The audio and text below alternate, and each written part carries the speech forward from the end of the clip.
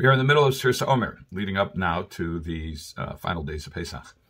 The question is, uh, first of all, we have this somewhat sometimes confusing practice. If you have one practice and you read from a siddur that has another, it might be confusing. In some siddurim, the count is printed as Hayom, for example, if today were the third day, Hayom Shlosha Yomim, Ba Omer, and in some siddurim it says La Omer. Uh, in the Omer or uh, to or relating to the Omer, of the Omer. So uh, is there a meaningful difference between the two. So, first of all, the poskim um, uh, express their various opinions. The Aruch for example, prefers the La Omer, but he says whichever one you say, you fulfill your obligation. Uh, my personal practice, based on my father's minhag, is to say ba omer. So, is there a difference between the two? Is there is there a substantive difference or implication of meaning uh, of a meaning difference uh, between the two? So, first of all, we have to look at the mitzvah of omer and uh, understand, at least in part, what it's about.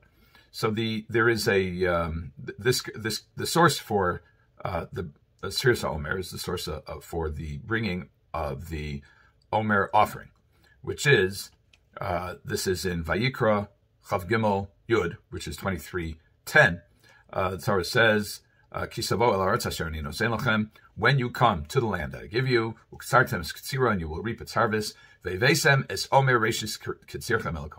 you will bring the sheaf of the first fruits of your harvest to the priest. And Chazal say that this is referring to barley.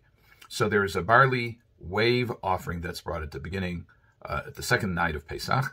And this actually, according to the Torah, um, when after the uh, Omer is brought, then any um, grain product that was produced before then can be eaten then. There is a prohibition uh, called the Isser Chodosh, which is a prohibition to eat newly grown of grain until the Omer has been brought. The verse in 14 says, uh, You shall eat neither bread nor roasted grain nor fresh grain until this same day, until you have brought ad haviyachem es korban elokechem, until you have brought the offering of God. Chukas olam, it is an eternal law, the sechem for your generations, b'chol, most sechem in all of your dwelling places. Um, there is a difference of opinion about whether this applies like the plain meaning of the verse says, to all locations, including uh, um, outside Chutz La'aretz, which would include wherever we're uh, listening, wherever this is, whether you're in Eretz Yisrael, outside of Eretz Yisrael. There's a minority opinion, which uh, some rely on, uh, to not be careful about this, which is cited by the Bach, which is that it, this law of Chodosh and its opposite Yashon, which is what happens to new grain after the Omer is brought, it, it takes on the status of Yashon. That is why you see uh, packaging that labels, among other uh, characteristics, you might see uh, labels that say that the flour is Yoshan. That means that it was that the um, Omer has passed, the day of the Omer has passed uh, since this was uh, either harvested or took root, etc. There are many different uh, but they are, in essence, the, the newly grown grain is prohibited to be eaten until the time for the Omer has passed. So now the question is, okay, uh, what about Sfiras Omer? Well, that's the next verse. That's uh, uh, 15. Sartam lachem mimachras hashabbos, and you will count from the day after the, we're going to translate it right now, just say Sabbath. We'll explain that in a minute. Haviyachem omer from the day that you bring the sheaf of the wave offering, sheva shabbos You count seven complete weeks. So there is an obligation to count during the Omer, seven weeks. Sfiras Omer, the counting of the Omer. Why does it say Mimachras Shabbos? This actually, this phrasing has given rise to quite a bit of confusion. And there are some deviant sects that actually said that it meant the day after Shabbos, which means that it starts on a Sunday. That is not our um, our Masorah. That's not our tradition. Our tradition is that it means the day after Yom Tov. Why is the day of Yom Tov called Shabbos? Well, as my brother Aaron explained to me um, many years ago, he explained that uh, what we do on, on Yom Tov, just like Shabbos, is we cease from all manner of work. Uh, Yom Tov is a little bit more lenient in that uh, work that is specifically for Ochel Nefesh, for feeding, for for uh, providing for food is permitted. Um, generally speaking, milisha, the elech, from the act of kneading dough and onward, but you can bake, you can cook, etc. on Yom Tov, not on Shabbos. But all the other uh, restrictions apply.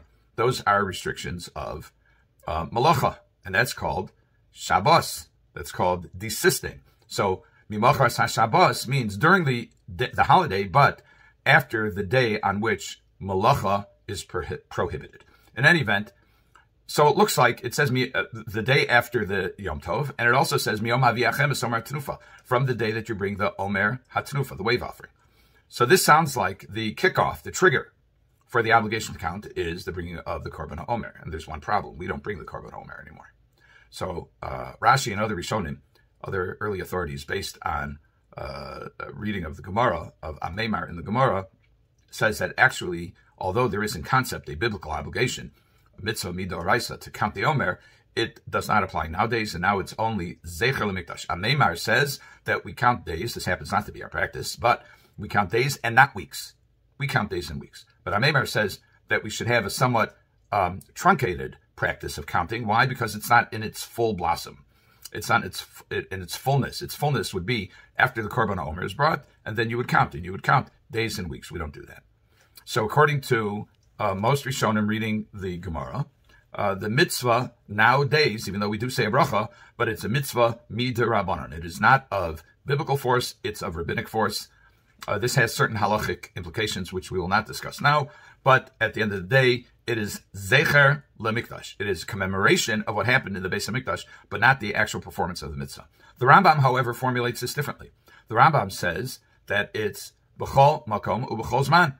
That the counting of the Omer applies at, uh, as a mitzvah asay, as an affirmative obligation. Implicitly in this is that it's a biblical obligation that applies at all times and all places. So what does the Rambam do with this notion that we don't have the korban Omer anymore?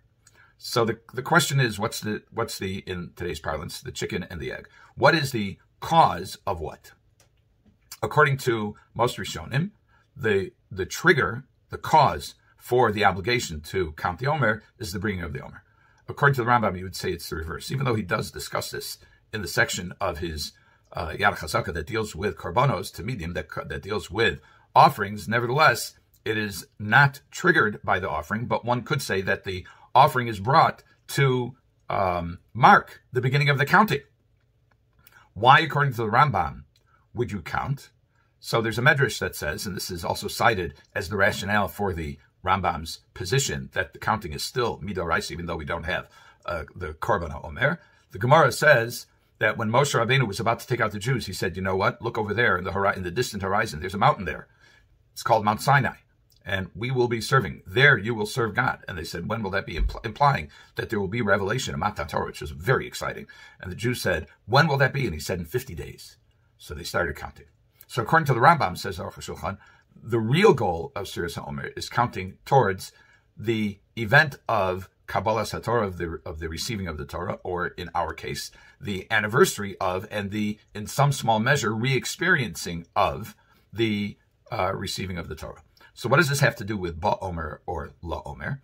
So Rabbi Yosha Ber Soloveitchik suggests that if you say such and such, it's so it's such and such many days uh, La Omer, what you're saying is implicitly you're talking about the Korban Omer, since the or of the Korban HaOmer, La Omer from the day of the counting of the bringing of the Omer. So uh, if it's Midrabanan, you would say that because the implicitly it's the bringing of the Korban Omer that triggers the obligation to count.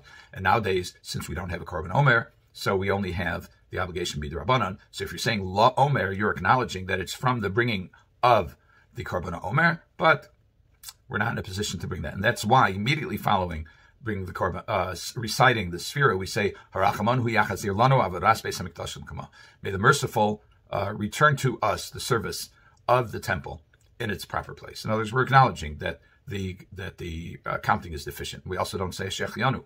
Uh, they say because it's really Zecher Mikdash, and we have some pangs of uh, of uh, sadness as a result.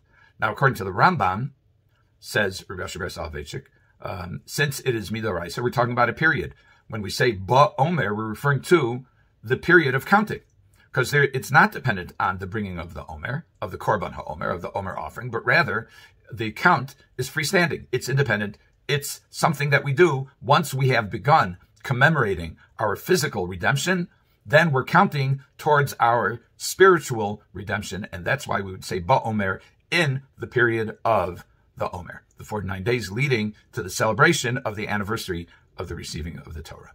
And it is to that day that we look forward with great anticipation, and hopefully we will accomplish much in our own spiritual resolve to learn more, to do more, and eventually to return to Eretz Israel so that, according to everybody, the counting of the Omer will be Midoraisa. Have a good Shabbos and a good Yom Tov.